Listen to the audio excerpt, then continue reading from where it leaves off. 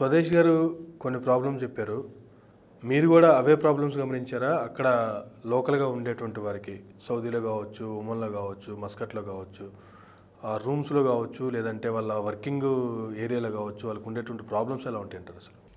అయితే ఒక ఒక ప్రావర్బ్ లాగా ఉంది సార్. ధనవంతుల సుఖాలన్నీ ఒకే రకంగా ఉంటాయి సార్. కానీ పేదవాడికి ఒక్కొక్కడికి ఒక్కొక్క రకమైన కష్టం ఉంటుంది. అవి చెప్పరాకుండా ఉంటాయి. వాస్తవంగా ఏంటంటే ఇవి గల్ఫ్ అంటే ఆరు దేశాలు. పేరుకు గల్ఫ్ మనందరూ ఒకటే అనుకుంటాం కానీ ఒక్కొక్క దేశంలో కొద్దిగా తేడా ఉంటాయి. వాళ్ళ చట్టాల్లో కూడా కాస్త మార్పులు చేర్పులు ఉంటాయి. పని విధానంలో కూడా కొంచెం తేడా ఉంటుంది. సమస్యలు. వాళ్ళు ఒంటెలు గాయడు గొర్రెలు గాయడం మొదలు పెడితే ఒక మిషన్ ప- ఆపరేటర్గా పనిచేసుడు క్రేన్ ఆపరేటర్గా పనిచేసుడు. వాళ్ళ వర్క్ స్టైలు అవన్నీ కూడా చాలా ఇబ్బందులు ఉంటాయి. అయితే ఒక్క మన భారతదేశ కార్మికులే కాదు ఈ సౌత్ ఏషియా నుంచి వెళ్ళిన కార్మికులందరూ కూడా అంటే మన పక్క దేశాలు నేపాల్ ఉన్నాయి బంగ్లాదేశ్ ఉంది పాకిస్తాన్ ఉంది శ్రీలంక ఉంది మనం ఉన్నాము ఫిలిప్పీన్స్ నుంచి వస్తారు. వీళ్ళందరూ కూడా అక్కడ పనిచేసినప్పుడు ఒక ఇంటర్నేషనల్ ఎక్స్పోజర్ వస్తుంది. ఒక ఇంటర్నేషనల్ ఫ్రెండ్షిప్ కూడా పెరుగుతుంది. రకరకాల ఇప్పుడు మనం కూడా ఇక్కడ ఉంటే ఒక మన తెలంగాణ వాళ్ళే పరిచయం అవుతారు. అక్కడికి వెళ్తే భారతదేశంలోని మిగతా రాష్ట్రాల వాళ్ళు కూడా ఫ్రెండ్స్ అవుతారు. రకరకాల కల్చర్ మింగిల్ అవుతుంది. రకరకాల భాషలు నేర్చుకుంటారు. ఎక్స్పోజర్ ఉంటుంది. ప్లస్ సమస్యలు కూడా అదే రకంగా ఉంటాయి. వాస్తవంగా ఒక్కొక్కరిది ఒక ఒక సమస్య. వంద రకాల సమస్యలు ఉంటాయి. అంటే అవి మనం మామూలుగా చెప్పినప్పుడు ఓన్లీ కష్టాలని అనుకుంటాం. కానీ మెయిన్ ఈ వంద రకాల్లో ఇంపార్టెంట్ సమస్యల గురించి చెప్పండి ఒక రెండు మూడు సమస్యలు. మెయిన్ ఏముందంటే నాన్ పేమెంట్ ఆఫ్ వేజెస్ జీతాలు సరిగ్గా రావడం లేదు లేదా అండర్ పేమెంట్ ఆఫ్ వేజెస్ చెప్పిన దానికంటే తక్కువ ఇస్తున్నారు వసతి సౌకర్యాలు లేవనేది ఒకటి. తర్వాత అక్కడ స్థానిక చట్టాలు తెలియక జైళ్ళల్లో పడడం. జైళ్ళల్లో పడ్డప్పుడు న్యాయ సహాయం అందకుండా వాళ్ళు ఇంటికి రావడం కోసము చాలా కష్టపడి అదే జైళ్ళలో చాలా కాలం మగ్గుతున్న సమస్యలు. తర్వాత చనిపోయిన సందర్భంలో ఆ కుటుంబానికి ఆ శివము ఆ మృతదేహం ఇంటికి రావడానికి చాలా కష్టపడతారు. తర్వాత పరిహారాలు. ఒక మనిషి చనిపోయిండు అంటే దానికి ఓ ఇన్సూరెన్సో లేకపోతే ఒక మృతదన సహాయము ఏదన్నా ఒకటి జరగాలంటే అట్లాంటివి ఏం జరగడం లేదు. అది అది కూడా ఒక పెద్ద సమస్య. ఇవి మేజర్ ఇష్యూస్ మేము గమనిస్తున్నాం. తర్వాత వాపసు వచ్చిన వాళ్ళకు పునరావాసం. పునరేకీకరణ.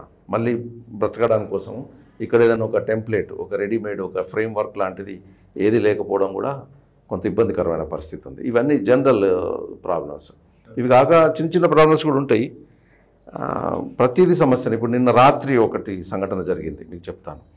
అతను నలభై ఐదు వేల రూపాయలు one way ticket Hyderabad to Dubai ticket కొనుక్కొని నిన్న రాత్రి ఎనిమిది గంటలకు నాకు కాల్ వచ్చింది. అన్నా నన్ను ఈ ఎయిర్పోర్ట్లో అలో చేస్తలేరు లోపలికి పోనిస్తలేరు. ఈ కోవిడ్ సర్టిఫికేట్ ఆర్టీపీసీఆర్ ఉంది కదా ఇది పని చేయదు అంటున్నారు. నాకు అది నుంచి దుబాయ్ వెళ్ళడానికా? దుబాయ్ వెళ్ళడానికి. ఆయన చేయించుకున్నాడు గవర్నమెంట్ హాస్పిటల్ చేయించుకుని అటెస్టెడ్ ఉంది. అది నాకు పంపమంటే ఇందులో చూశాను. అతని బ్యాడ్ లక్ ఏంటంటే డెబ్బై రెండు గంటలు దాటిపోయింది. అంటే ఆ, మన శాంపుల్ బ్లడ్ శాంపుల్ ఇచ్చిన నుండి ఫ్లైట్ ఎక్కే టైంకు డెబ్బై రెండు గంటలు దాటితే వాళ్ళు టెక్నికల్గా అలో చేయరు. అంటే అవగాహన లోపం. ఆయనకు తెలిసి ఉంటే ఒక రోజు లేట్గా బ్లడ్ శాంపుల్ ఇచ్చి వస్తే ఈయనకు సరిపోయేది. తెలియక సెవెంటీ టూ అవర్స్ దాటిపోయింది. అంటే ఇంకొక ఫ్యూ అవర్స్ ఒక నాలుగైదు గంటలు ఎక్కువైంది. వాళ్ళు టెక్నికల్గా ఆపేశారు. ఆయన నలభై ఐదు వేలు పోయినాయి నాన్ రిఫండబుల్ టికెట్. అంటే చిన్న విషయం తెలియకపోవడం వల్ల నలభై ఐదు వేలు మునిగిపోయాడు. అయితే మేమేం చేస్తామంటే మాకు కూడా ఎక్కడి నుంచో నాలెడ్జ్ రాదు. బాధల నుంచి బాధితుల ద్వారా మాకు అందిన సమాచారాన్ని మేమేం చేస్తామంటే ఇప్పుడు ఇది చూడండి ఇప్పుడు అదొక చిన్న ఇన్సిడెంట్ మన మైరా టీవీ ద్వారా చెప్పడం వల్ల మిగతా వాళ్ళు చాలామంది ఈ ప్రమాదం నుంచి తప్పుకోగలుగుతారు. ఇది చూసి చిన్నదే అనిపిస్తుంది.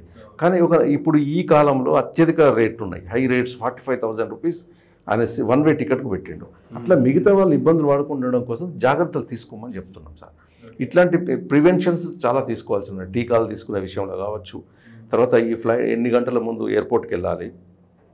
తర్వాత తీసుకెళ్ళే ముందు గసగసాలు ఇప్పుడు మనం ఇక్కడ బిర్యానీ చేసుకుంటాం కదా బిర్యానీలో పాపీ సీడ్స్ అంటారు ఇంగ్లీష్లో గసాలు వేసుకుంటాం మనం.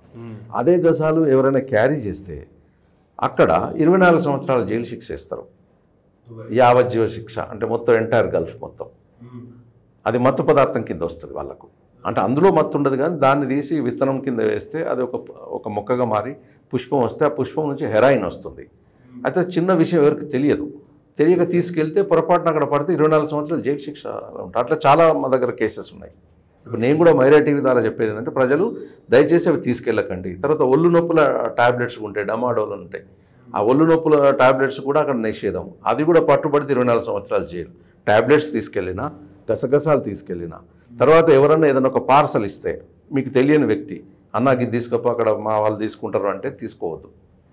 మీకు సంబంధించిన మీకున్నాయి అన్ని క్షుణ్ణంగా చూసిన తర్వాత అందులో ఏమున్నాయో చూసి తీసుకెళ్ళాలి.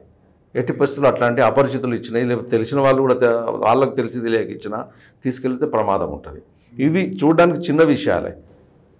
తర్వాత కొందరికి పాస్పోర్ట్లు జప్తు చేస్తున్నారు. అక్కడ నుంచి వచ్చేటప్పుడు ఏంటంటే టికెట్ వాళ్ళకు టికెట్ లేకపోతే ఏ ఎయిర్ ఇండియా అనుకోండి ఎనీ ఎయిర్లైన్. వాళ్ళు రిటర్న్లో టికెట్ ప్రొవైడ్ చేస్తారు. అంటే మీకు ఒక చిన్న ఉదాహరణతో చెప్తే మీకు అర్థమవుతుంది. ఫర్ ఎగ్జాంపుల్ ఒక ఆయన ఎంప్లాయ్మెంట్ వీసా ఉంది అని చెప్పి ఇక్కడ నుంచి మస్కట్కు ఫ్లైట్ ఎక్కిండు. మస్కట్కు ఎంప్లాయ్మెంట్ వీసాలో వెళ్తున్నాడు అంటే ఏంటంటే వన్ వే టికెట్ ఒకటే టికెట్ తీసుకుంటాడు. Hyderabad to Muscat. ఆ సిస్టంలో అంత బాగానే ఉంటుంది. చూస్తే ఫ్లై అవుతారు అక్కడ దిగిన తర్వాత అక్కడ ఏదో ఒక టెక్నికల్ ప్రాబ్లంతో ఆ వీసా క్యాన్సిల్ అయి ఉండడము లేదంటే ఆ యజమాని బ్లాక్ లిస్ట్ ఉండడము అట్లాంటి సాంకేతిక కారణాల వల్ల ఏమైపోతుందంటే అతన్ని ఆ ఎయిర్పోర్ట్ నుంచి బయటికి పంపించరు రిటర్న్ పంపిస్తారు. ఆయనే మళ్ళీ మస్కట్ టు హైదరాబాద్ ఆ కార్మికుడు వాపస్ రావాలి అంటే మళ్ళీ ఒక టికెట్ కావాలి కదా? ఆయన జేబులో డబ్బులు ఉండేవి కదా? అప్పుడు ఏం చేస్తారంటే ఆ ఎయిర్లైన్ వాళ్ళు ఇతను ఏ ఎయిర్లైన్లో ఫ్లై అయ్యిండో అదే ఎయిర్లైన్ వాళ్ళు ఉద్దెర అంటే క్రెడిట్ మీద అతన్ని ఫ్లైట్ ఎక్కిస్తారు. హైదరాబాద్ ఎయిర్పోర్ట్లో దిగిన తర్వాత ఆ కన్సర్న్ ఎయిర్లైన్ వాళ్ళు ఇతని దగ్గర నుంచి ఒక లెటర్ తీసుకొని ఆ పాస్పోర్ట్ తీసి దగ్గర పెట్టుకుంటారు. తీసుకొని నువ్వు అరవై వేల రూపాయలు డెబ్బై వేలు ఎనభై వేలు వన్ వేకు బిజినెస్ క్లాస్ రేట్స్ పడేస్తారు. అందులో ఏదైనా ఫైన్ ఉంటే ఫైన్ కూడా అందులో ఇంక్లూడ్ చేస్తారు. చేసి పంపిస్తాడు. ఆయన అప్పటికే అరవై వేలు డెబ్బై వేలు అప్పు చేసి ఇటు వెళ్దామని పెడతాడు. అక్కడికి పోయేసరికి ఏదో ప్రాబ్లం లేదా ఇతను ఇంకొక ప్రాబ్లం కూడా ఉండొచ్చు. అంతకుముందు ఆ దేశంలో పనిచేసినట్లుంటే ఈ ఐరిష్ కళ్ళు తీయడము వేలు ఫింగర్ ప్రింట్స్ తీయడం ఈయన ఏదో అక్కడ ఈయన ఏదన్నా బ్లాక్ లిస్ట్ అయి ఉండడము ఏదో ఒక కారణం వల్ల ఈయనకు నో ఎంట్రీ ఉండడము ఇట్లాంటివి ఉన్న సందర్భాలను కూడా రిటర్న్ చేస్తారు వాళ్ళు. ఓకే. ఇవన్నీ మనం ముందు ఊహించేటి కాదు. అప్పుడు ఏమైపోతే ఆల్రెడీ అప్పుల్లో ఉన్నాడు పాస్పోర్ట్ జప్తు అయిపోతుంది ఎయిర్లైన్ తీసేసుకుంటుంది ఆయన పోతే ఆయన పరిస్థితి ఘోరం ఇక ఆ ఏజెంట్ ఏమంటే నాదేం తప్పులేదు నాయన నేను నేను నిన్ను మోసం చేసినా నీ డబ్బులు ఏమన్నా తినేసినా నీకు అన్ని టికెట్ ఇచ్చినా ఇది ఇచ్చినా అన్ని చేసినా అది నీ కర్మను వడు వచ్చినావు అంటూ అటు ఏజెంట్ను గట్టిగా అడగడానికి లేదు. ఇతను అంటే ఇవన్నిటికీ అవగాహనే మనకు ముఖ్యం. ఇట్లా చాలా ఉన్నాయి. ఇవన్నీ కూడా ఏంటంటే ప్రజల అవగాహనతోని చాలా జాగ్రత్తలు తీసుకొని వెళ్ళినట్టుంటే ఈ ప్రమాదాల నుంచి బయటపడతారు. మేము కూడా దీని ఏంటంటే ఇంపౌండింగ్ ఆఫ్ ది పాస్పోర్ట్స్ అంటారు. పాస్పోర్ట్లు జప్తు చేస్తారు. మేము ఈ చాలా కేసెస్లో మేము ఏంటంటే ఎయిర్లైన్ వాళ్ళని మాట్లాడి మీకు కూడా కార్పొరేట్ సోషల్ రెస్పాన్సిబిలిటీ కూడా మీ ఎయిర్లైన్స్కి ఉన్నది వాళ్ళు ఏదో గరీబ్ వాళ్ళు వాళ్ళకి తెలియదు. కార్మికుడు పెద్ద ఎడ్యుకేటెడ్ కాదు ఏం కాదు. అప్పటికే మునిగిపోయిండు. అంటే మేము కూడా ఏం చేయలేము మా రూల్స్ కదా మేము కూడా టికెట్ అక్కడ నుంచి ఫ్రీ ఇచ్చి తీసుకొచ్చినాం కదా అది మేము ఫ్రీ ఇవ్వలేము కదా. అంటే మేము ఏదో బతిలాడి కొద్దో గొప్ప సమ్ అమౌంట్ రైజ్ చేసి అట్లా చేసి పాస్పోర్ట్స్ ఇప్పిస్తున్నాం. కానీ దీనికి కూడా ఏంటంటే ప్రభుత్వం ఒక స్టాండ్ తీసుకోవాలి. అంటే ఈ అమాయకులను రక్షించాలంటే వాళ్ళు కావాల్సుకొని చేసింది కాదు కదా ఇట్స్ అన్ యాక్సిడెంట్ లాగా. అంటే ఇట్లా చెప్పుతూ పోతుంటే అసలు సమస్యలు ఎన్ని ఉంటాయి యూ కాంట్ ఇమాజిన్ అన్నట్టు. ఇప్పుడు సౌదీ అరేబియాలో మతులూబ్ అనే ఒక సిస్టమ్ ఉంటుంది. ఇప్పుడు యజమాని దగ్గర ఒక ఆయన పని చేస్తుంటాడు. పని చేసి నచ్చకపోతే పారిపోతాడు. యజమాని హింసలు భరించలేక శాలరీ ఇవ్వకపోతే నచ్చకపోతే పారిపోతాడు. పారిపోతే యజమాని ఏం చేస్తాడంటే కొంత మామూలు యజమాని అయితేనేమో అతని మీద వాంటెడ్ అని వేరే ఒకటి కే- పెట్టేస్తాడు అది హురూబ్ అని ఉంటుంది. అరబిక్లో హురూబ్ అంటే పారిపోయాడని ఆన్లైన్లో కొట్టేస్తాడు వెంటనే. ఓకే. అతను ఎప్పటికైనా పట్టుబడి ఇంటికి వెళ్ళేటప్పుడు మామూలుగా వెళ్ళిపోవచ్చు టికెట్ తీసుకుంటారు పంపించేస్తారు. హురూబ్ అంటే పెద్ద నేరం కాదు. కొందరు షాడిస్ట్ ఉన్నటువంటి యజమాని ఏం చేస్తాడంటే హురూబ్తో పాటు మతలూబ్ అనేస్తాడు. మతలూబ్ అంటే ఇంగ్లీష్లో వాంటెడ్ అంటే ఈజ్ ఎ క్రిమినల్ నా ఇంట్లో ఒక నేరం చేసి పారిపోయాడు. ఏం నేరం పెడతాడంటే నా గొర్రెను ఎత్తుకపోయాడు నా ఒంటెను ఎత్తుకపోయాడు లేదంటే నా కారు టైర్ ఎత్తుకపోయాడు నా ఇంట్లో నుంచి ఏదో ఒక చిన్న వస్తువు ఎత్తుకపోయాడు లేదంటే నా కారును ఒక బండతో కొట్టి గాయపరిచిండు నా- నా కారును పాడు చేసిండు లేకపోతే నా కుండ వాళ్ళు కొట్టిండు. ఇంకేదో చేసి మొత్తం మీద క్రైమ్ అంటే అది ఒక మామూలు సివిల్ కేసును క్రిమినల్ కేసు కింద మార్చేసి ఆన్లైన్లో కొట్టేస్తారు. దాన్ని మత్లూబ్ అంటారు. అతను ఇంటికి రావాలంటే ఎట్టి పరిస్థితుల్లో రాలేడు ఇక. బయటనే తిరుగుతుంటాడు ఓపెన్ జైలు. ఇటు రావాలంటే ఇదే యజమాని దాన్ని మాఫీ చేయాలి. లేదంటే ఆయన కోర్ట్ ఆఫ్ లా వెళ్ళి నేను నిర్దోషిని నేను ఆ పని చేయాలి ఆయన నిరూపించుకుంటే అక్కడ ఆయనకి ఎవరు అడ్వకేట్ వస్తాడు? తిండికే ఉండదు. అడ్వకేట్ ఎవరు ఫైట్ చేయాలి? అక్కడికి పోవాలి. లేదా ఆ కోర్టుకు పోయి సరెండర్ అయితే ఆ కోర్టు ఏం చేస్తుంది? శిక్షిస్తుంది నీకు ఆరు నెలల సంవత్సరాలు నువ్వు నేరం చేసినావు. అది నువ్వు చేసినా చేయకుండా ఒప్పుకోవాల్సిందే. ఒప్పుకున్న తర్వాత అదంతా అనుభవించి ఇంటికి రావాలి. ఈ సమస్యలు చెప్పుతూ పోతే ఈ ఈ- ఈ టెక్నికల్ టర్మ్స్ కానీ ఇట్లాంటి కొన్ని సమస్యలు ఉన్నాయని కూడా బయట ప్రపంచంకు తెలియదు. అంటే ఇవన్నీ హిడెన్ ఉంటాయంటే ఇట్లా చెప్పుకుతూ పోతే ఒక రోజంతా చెప్పొచ్చు ప్రాబ్లమ్స్ టెక్నికల్ ఇష్యూస్. కాబట్టి ఈ దీని దీనిపై మనం కోరుకునేది అంటే రాష్ట్ర ప్రభుత్వం కానీ కేంద్ర ప్రభుత్వం కానీ ప్రత్యేకమైన రిడ్రెసల్ మెకానిజమ్స్ పెట్టాలి. పెట్టేసి వాళ్ళ బాధను కొంచెం తగ్గించడానికి మనం మొత్తం సమస్యలు తీర్చలేము. ఇప్పుడు అక్కడ ఒక యజమాని పగబట్టి మనం తప్పుడు కేసు పెడితే దానికి మన ప్రభుత్వం ఏం చేయలేదు. కానీ అతనికి కొంచెం న్యాయ సహాయం లీగల్ ఎయిడ్ ఒక అడ్వకేట్ని ఇస్తే కాస్త ఈజీగా బయటపడి రాగలుగుతాడు. ఇట్లా చాలా ఉన్నాయి. కొన్ని తెలియక ఊరికే రాంగ్ రూట్లో వెళ్ళడము లేకపోతే ఇంకేదో తెలిసి తెలియక రోడ్డు మీద ఉమ్మేయడము ఇక్కడలాగా ఉమ్మేయడము అక్కడ పాన్ తినడం కూడా తప్పే. ఆడ పాన్లు కూడా బ్లాక్లో దొరుకుతాయి. పాన్ తిని రోడ్డు మీద ఉమ్మేయడం లేకపోతే పాన్ తినడం దొరకడము అక్కడ డ్రింక్ చేయడం తప్పు. డ్రింక్ చేసి పడితే అది కూడా ఒక నేరము. తర్వాత ఆ డ్రింక్ అమ్మినట్టు కేసు అయిందనుకోండి ట్రేడింగ్ లిక్కర్ ట్రేడింగ్ అయితే అది చాలా పెద్ద నేరము.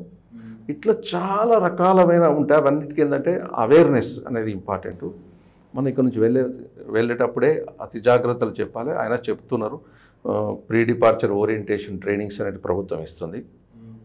ప్రయాణ ముందస్తు అవగాహన శిక్షణ అని ఒకరోజు మొత్తం చెప్పి ఏమి చేయొచ్చు ఏమి చేయకూడదు. చెప్తారా దాంట్లో ట్రైనింగ్లో? ట్రైనింగ్లో వన్ డే ట్రైనింగ్లో చెప్తారు. దానికి ఒక పుస్తకం ఉంది ఒక మాడ్యూల్ ఉంది. అది ఈమైగ్రేట్లోకి వెళ్తే ఆ పుస్తకం కూడా తెలుగులో కూడా ఉంది. దాన్ని డౌన్లోడ్ చేసుకోవచ్చు వీడియోలు కూడా ఉన్నాయి. కానీ అంత ఓపిక చెప్పే అంత ఉండాలి. నేర్చుకునేంత కూడా మన వల్ల కూడా ఉండాలి. ఏమి చేయొచ్చు ఏమి చేయకూడదు. Dos and don'ts. ఆ మాది ఫారిన్ ల్యాండ్ కాబట్టి మాది ప్రజాస్వామ్య దేశము అది రాచరిక రాజ్యము. అది తర్వాత ఇస్లామిక్ షరియా లా ప్రకారంగా పరిపాలించే రాజ్యాలు అవి. అక్కడ పద్ధతులు వేరే ఉంటాయి. వాటిని మనం మసులుకోవాలి. దాన్ని ఏమంటారంటే లా ఆఫ్ ది ల్యాండ్. అంటే ఆ దేశం యొక్క అక్కడి చట్టాలను మనం గౌరవించాలి. Please do subscribe Myra Media. Please subscribe Myra Media. Subscribe to Myra Media. Please like, share, and subscribe to Myra Media for lot of film news, gossips, and hot hot news. Please like, share, and subscribe to Myra Media. For more interesting updates, please subscribe to Myra Media YouTube channel. For more updates, please subscribe to Myra Media. So like, share and subscribe to Myra Media.